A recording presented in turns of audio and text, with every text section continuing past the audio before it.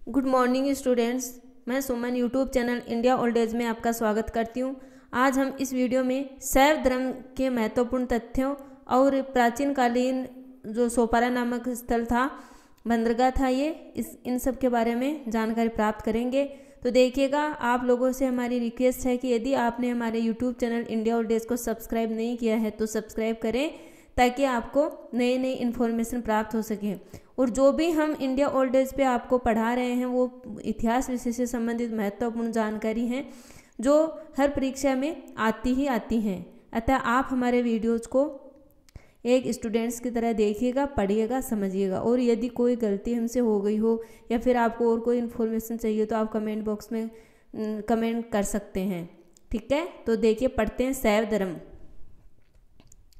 शिव भक्ति की प्रारंभिक जानकारी सिंधु घाटी सभ्यता के अवशेषों से होती है। तो सिंधु घाटी सभ्यता के बारे में भी हमने पहले पढ़ा है। शैव मत का उदय सुंग सातवाहन काल में हुआ था। तो सुंग वन, सातवाहन वंश इन सब के बारे में हम पढ़ चुके हैं। तो प्लेलिस्ट में जाके देखिएगा, आपको सब कुछ इन्फॉर्मेशन वहाँ पे मिलेगी। तो जो शैव मत है, इसका उदय सुंग सातवाहन काल में हुआ था। गुप्त काल में शैव धर्म चरमोत्कर्ष पर था। ऋग्वेद में उन्हें पशुपति अथवा पशुओं का रक्षक कहा गया है। तो शिव जी को ऋग्वेद में पशुपति अथवा पशुओं का रक्षक कहा गया है। ऋग्वेद के बारे में भी हम पहले पढ़ चुके हैं। शैव धर्म के पाँच सिद्धांत कौन कौन से थे? कार्य, कारण, योग, विधि तथा दुखांत। तो शैव धर्म के पाँच सिद्धांत कौन कौन से थे? कार्य, कारण, योग, विधि और दुखांत।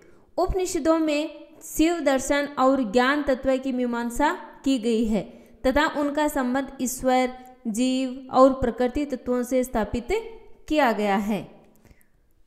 महाभारत में शिव का वर्णन श्रेष्ठ देवता के रूप में हुआ है, जिनसे पाशुपतास्त्र, पाशु, पाशुपास्त्र प्राप्त करने के लिए अर्जुन को हिमालय जाना पड़ा था। अभिज्ञान संकुतलम में शिव के अष्ट रूप की इस प्रकार की व्याख्या की गई है। जल अग्नि होता सूर्य चंद्र आकाश पृथ्वी और वा, और वायु। ये माना गया है कि ब्रह्मा जगत के सृष्टा हैं विष्णु पालक हैं और शिव संहारक हैं।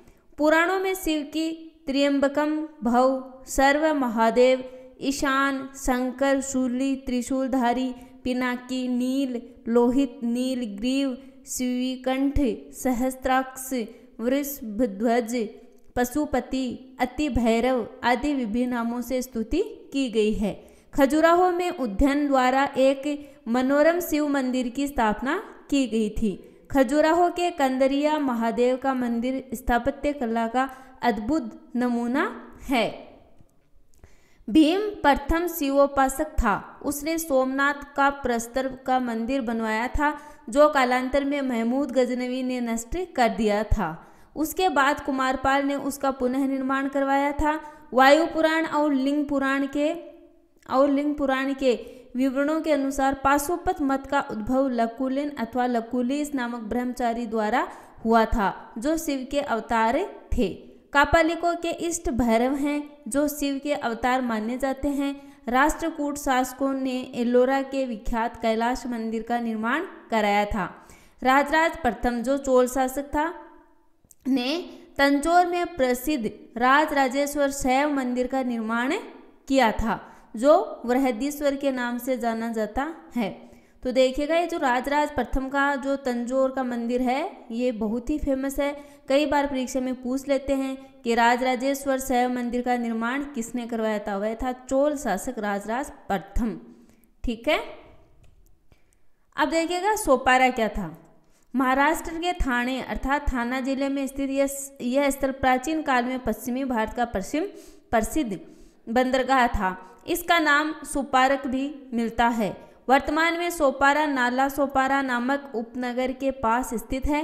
प्राचीन काल में यह भारत के पश्चिमी तट का सबसे बड़ा नगर था, जहाँ से मेसोपोटामिया, मिस्र कोची अरब तथा पूर्वी अफ्रीका में व्यापार होता था। इसका प्राचीन नाम थुर्रा पर थुरा पारक थुर्रा पारक है। महाभारत में इस स्थान का उल्लेख मिलता है। मौर्य शासक अशोक का एक शिलालेख यहाँ से मिलता है। सोपारा का अभिलेख भारतीय ब्राह्मी लिपि में है। इसी ब्राह्मी से, इसी ब्राह्मी से वर्तमान देवनागरी लिपि का विकास हुआ है। जबकि अशोक के अन्य अभिलेख जैसे शाहबाजगढ़ी तथा मानसेरा के अभिलेखों ब्राह्मी में न होकर खरोष्टी में हैं। तो हम अशोक के सभी अभिलेखों के बारे में पहले पढ़ चुके हैं, ओके? सोपारा स्तूप में बुद्ध और सोपारा में एक अन्य बौद्ध भिक्षु की मूर्ति भी मिलती है, जिस प्रकार दक्षिण भारत के पश्चिमी तट पर ईसा पूर्व से ही मुजरिम, मुजरिस सॉरी मुजरिस अर्थात कोंडून गलूर विदेश व्यापार के लिए ख्याति प्राप्त बंदरगाह रहा, उसी प्रकार उत्तर भारत के पश्चिमी तट पर उसी कार्यक्रम में सोपारा भी भारत में प्रवेश के लिए एक महत्वपूर्ण बंदरगाह था। इस बंदरगाह का संपर्क विभिन्न देशों से रहा है। सोपारा को सोपार का सुरपर का जैसे विभिन्न नामों से जाना जाता था। प्राचीन अप्रांता राज्य की राजधानी होने का भी गौरव सोपारा को प्राप्त है। कदाचित बाइबल में उल्लेखित भारतीय बंदरगाह है और फिर सोपारा ही था। बौद्ध साहित्य महावंश में उल्लेख है कि श्रीलंका के प्रथम राजा विजय ने सपारका से श्रीलंका के लिए समुद्र मार्ग से प्रस्थान किया था। प्राचीन काल में सोपारा से नाने घाट नासिक, महेश्वर होते हुए एक व्यापार मार्ग उज्जैन तक आता था।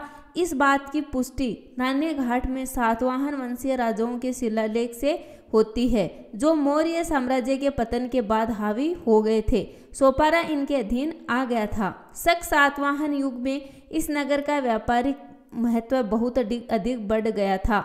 दिव्यावदान में इसे वाणिज्य का बड़ा केंद्र बताया गया है, जहाँ व्यापारी अपने माल के साथ भरे रहते थे। यहाँ से जहाज़ में बैठकर लंका तथा स्वर्ण भूमि तक पहुँचा जाता था।